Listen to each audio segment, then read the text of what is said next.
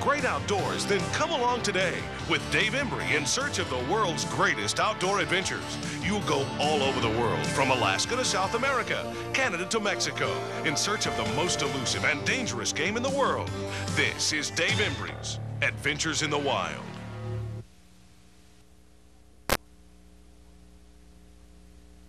Today on Adventures in the Wild, hit the trail with Dave on horseback as he follows the dog pack through cactus and mesquite in search of the wild and dangerous Russian boar. It's in the small town of Cross Plains just outside of Brownwood, Texas, that Dave will team up with Jerry Campbell, veteran wild boar guide and dog trainer, and holder of the number one world's record wild boar, and Randy White, his partner from Dallas. Together, they'll go after the dangerous and sharp-tusked wild boars of Texas.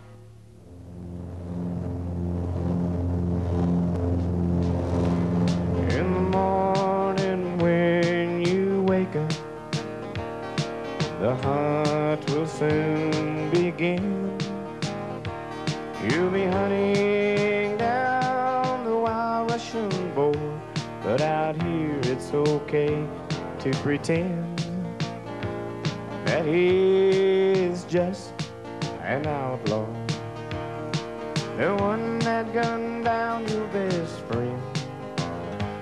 And the town will call tonight when you bring him in. Oh, to be the cowboy hundred years ago. The long hot days in the summertime, freezing to death in the snow.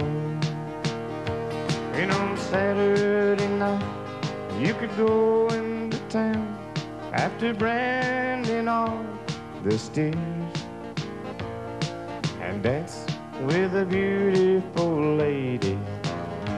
And drink another Lone Star beer. And dance with a beautiful lady. Drink another Lone Star beer.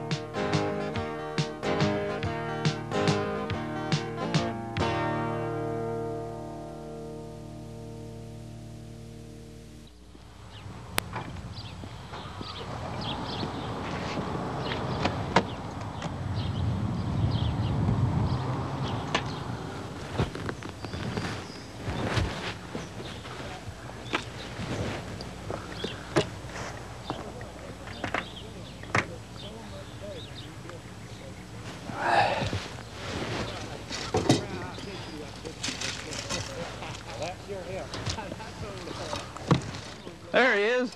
Hello, Dave. hey, Randy, how's it going? How you doing? Pretty good time. I just got Yeah, here. Yeah, boy, glad you could make it, boy. Yeah. some nice weather. Boy, it's beautiful, down. isn't it? I was just getting ready to shoot a couple arrows while I was waiting here. Okay. I love shooting them arrows. Come on over. We got a nice. Yeah, thank you, thank you. Had a good flight. Yeah, it's pretty weather. Pretty good. What's a nice bow? That's is it? I'm using to shooting a PSE. A Jet Flight Express. Let me step off about 20 paces here. I just want, I like to shoot a few when I get somewhere just to sort of get limbered up a little bit. We're going to hit the road here in a minute and get the horses. And Okay, yeah. Jerry's Jerry- back over at camp. Yeah, Jerry's back there gathering up the horses and the dogs, and he's ready to go. He's going to come by and Let me step off 20. we'll be off four, five.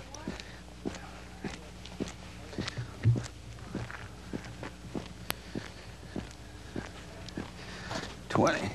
You know, that's what's nice about bow shooting is that you can do it just about anywhere. You know, you can pull out your bow. If we rifle shooting, you know, we have to go out to the range or out in the field somewhere to shoot. And here we can sit here beside the airplane and shoot a few shots. That's right. I'm gonna shoot a couple off here. Got the dogs all fired up and ready to go today? Oh, yeah, they've been ready to go. They've been ready to go. Good. Got Good. rain and moisture on the ground. To be good hunting. Well, I'll tell you. Reckon that'll get him? That's all fun. You deadly with that thing. That little light target, little the only thing hard about it sitting out there that wants to flip over like that, but I just keep shooting. Anyway,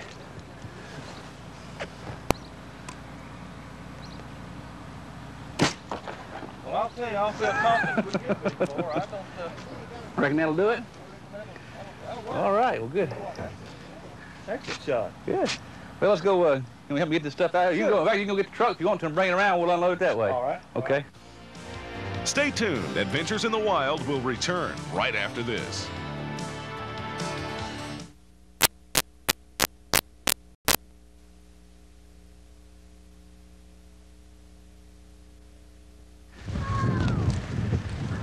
Good looking area in here. Good looking country. Yeah, it's north end of Texas Hill Country. There's a lot of pretty good hunting in this country. It's world famous for the game, I see. Yeah. How far are we out of Brownwood? We're out of Brownwood, Texas. Yeah, we're about 25 miles out of Brownwood. You've been hunting this area for a while. Yeah, ever since Moby Dick was a sardine, Pretty long time, ain't it? about 40 years. How are we gonna hunt these boar down here? We're gonna hunt them horseback. Uh, skirt all these hills. There's just a several mile chain of these hills like this. We'll skirt all of them. These hogs usually lay up up on the ridges this time of year. Uh-huh. Temperature today is about 60 degrees. We got about 20 degree, uh, 20 mile an hour north wind, so they'll lay up. You know where it's, Yeah. they got plenty of protection. Getting out of the wind is like any other animal is. Yeah. They're nocturnal. They're feeding at night and laying up in the daytime. If a hog has got any Russian boar in him at all, he'll be almost all nocturnal. Yeah. All righty, we've got a couple unload and we'll be about ready to go, huh? Yeah. Okay. Unload the horses here. Good. Well, the sun just coming up over the ridge there, so we got a good start this morning.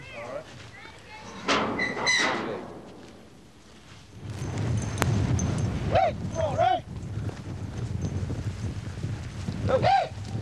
ho! Come on, hound! Come on!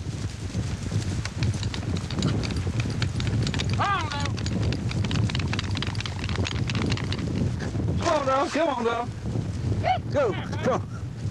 Come on, Ray! Yeah, loose! Down, loose! Go! Hey! Loose! Come on there! Go, feller!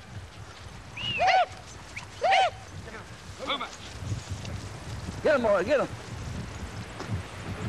Find that boy. Find that boy.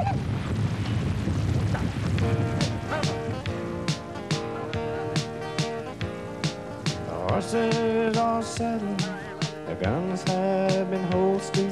The Lone Star's ice down and cold. The hounds are a.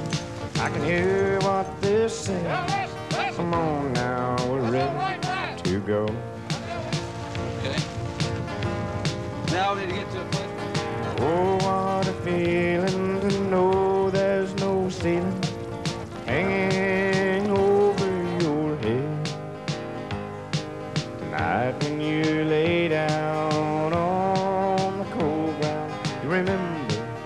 stories you've read about being a cowboy a hundred years ago.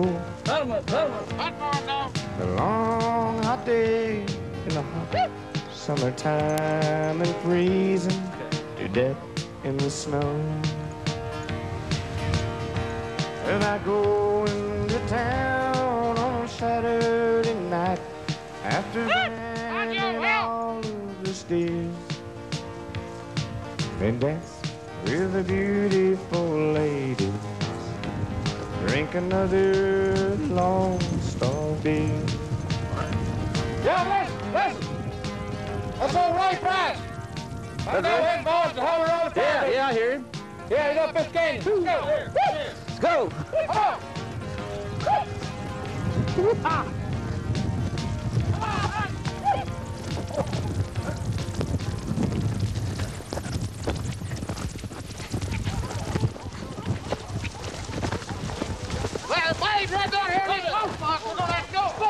off foot. All right. How you hold?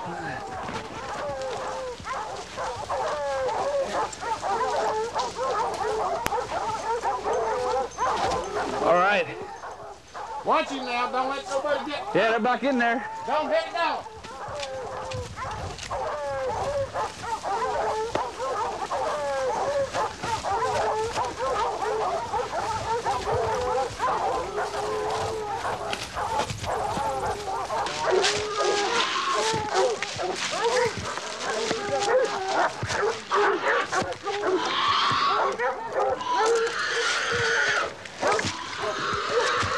Hi, Rusty.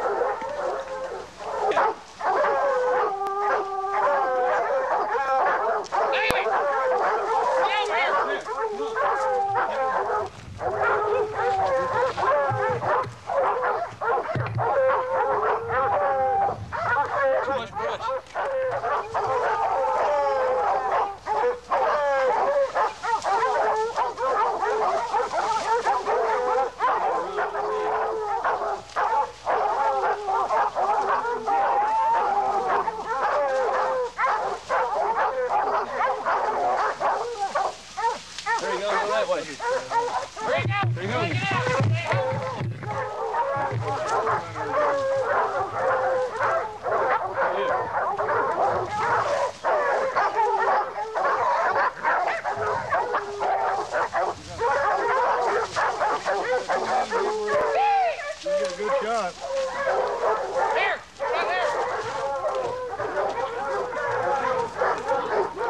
Come on, quick.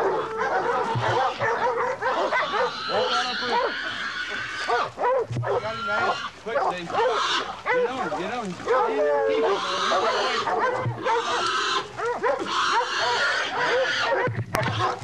Come on, keep it rolling. Watch out! Get away! Watch it! Watch it! Get on, Tower! What? Get over here, David!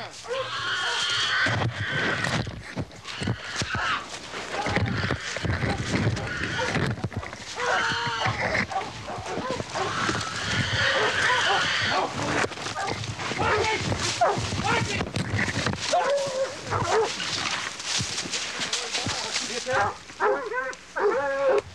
Lily, Lily! Don't let him down!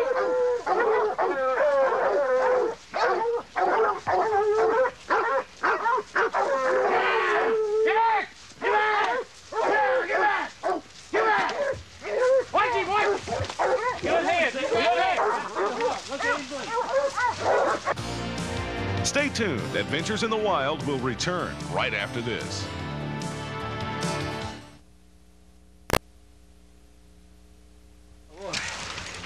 You. Yes, sir. Good hog. I'll tell you what. That down faster that. Back, down faster than 30 ought six. All right, drag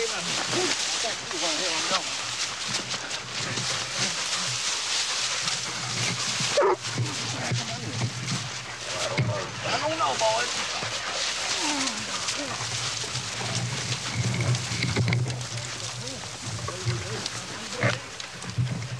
I dropped that there when he charged a while ago. I was getting out of the way and fell tripped over there. He charged three times. Once he like got me and Randy, I guess. Oh, yeah, they Oh. Uh-huh. had. boy, That's that last time we got it too. Well, I took the arrow out. When he started trying, I took the arrow out, ran, did it. I stuck it in the ground to be sure nobody fall. Huh? Whew, lordy. That got me bad. Mean old hog, wasn't Oh, bad. He's done. Ross, Whew. he's fighting them dogs. Look at the cut he put on this dog here. he? Oh, he sure did. He sure cut old Pancho bad. Uh, Ray Price, I don't like cut. Yeah, he been. Oh, teeth bad, bad. Ray Price, hey boy. Hey. Where did these old feral hogs come from like that? Just left over from ranching days years ago? Well, ago? no, what happened is, yeah, that's right, but they brought Russians into this country to breed into the feral hog. Uh-huh. The reason they did that is so they'd be, they'd withstand predators more. The hog industry used to be real good here. Uh, so did sheep and goats, you know. But anyway, the big thing happened, all these ranches got started cutting into smaller ranches, you know, through the years. And these newcomers stopped to hound them. And when that did, when they stopped a lot of the hound hunters from hunting, well, the predators have taken over. They've Yeah, completely put the sheep and goat business out. What kind for coyotes? and Most coyotes, bobcats, a few lions. But anyhow, because the predators were eating up all their, their pigs Uh-huh. of the feral hogs, they imported the Russian boar into this country. Now in South Texas, they imported them in for hunting, but in this country, they imported them in to crossbreed with the feral Uh-huh. to make them more uh, hardy against predators. So they, they, they could able to survive a little bit more Yeah. by pushing blood in them than they would That's right. regular old feral. And then what happened after that, uh, we got a hog here now that isn't a feral, he ain't Russian. He's kind of half and half, and he's got he's nocturnal animal like a Russian, Uh, he's got a long straight tail like a Russian. His hair split all down his back, but he's got feral hog in him. Uh-huh. And uh, I'll tell you, I've caught 203 big boars, and these two guys and John's been in on a lot of them, so has Rusty Reed.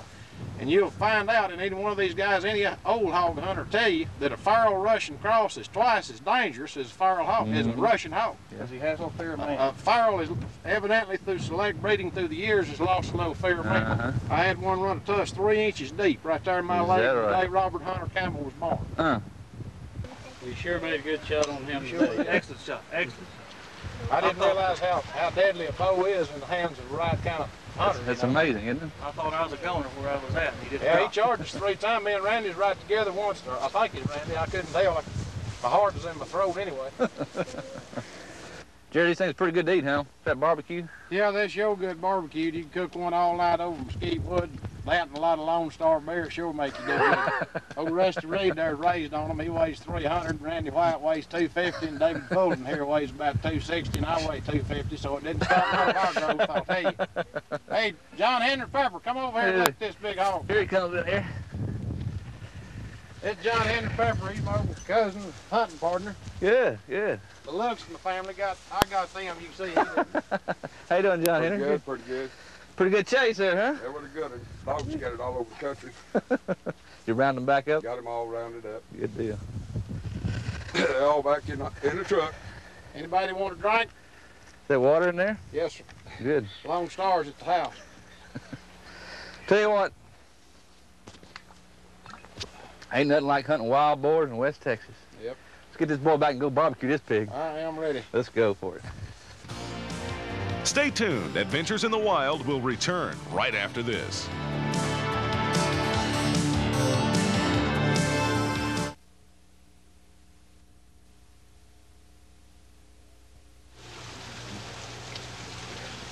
They're pretty good eating. And keep the dogs off of it. It's darn good. Down, boy. Reckon we could sell that stuff, make making money on it. Well, you guarantee you could. Well, you know that old Jerry Campbell, what they say about that old guy here, don't you? What's that? He speaks three languages, Texan, Mexican, and wild boar. He speaks wild boar fluently. Mr. Jerry Campbell. Yeah, I've been here on this same place for all my life, 40 years, right here. I hadn't been in this same house, but I've been right here on this Same same part of the country. Yeah, right, well, right here. My daddy bought this place in 1939, $13 an acre. Is that right? That's right. You know, in this country, there's an old saying about the devil in hell. The devil in hell was bound and chained. A thousand years he there remained. He never complained or did he moan, but was determined to start a hell of his own, where he could torment the souls of men without being chained in prison then. So we asked the Lord if he had on hand anything left when he made this land. The Lord said, Yeah, I have plenty on hand. I left it by the banks of the Rio Grande. He said, The truth is, old boy, this stuff is so poor, I don't know if you can use it as a hell anymore. But after the devil went down to look at the truck, he decided if he took it as a gift, he stuck. Because after he looked it over carefully and well, this place too rough for a hell. He said, the rattlesnake bites you, the scorpion stings, the gnats delights you with a buzzing wing.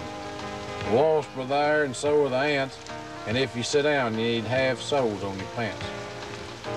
The heat in the summer's 115, too hot for the devil, too hot for a human being. The wild pepper grows on the banks of the brook.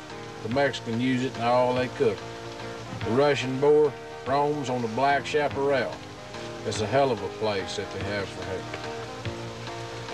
Neither my horses or my hounds got a pedigree, but they do what's expected by me.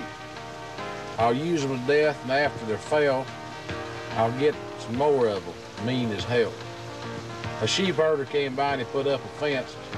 Seen him one time, but I ain't seen him since.